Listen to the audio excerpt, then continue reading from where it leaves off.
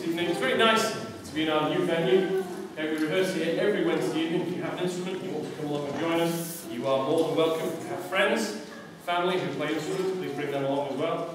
If you have anybody on your road who plays an instrument, please come along. Come along to see you join us. We are always looking for new members.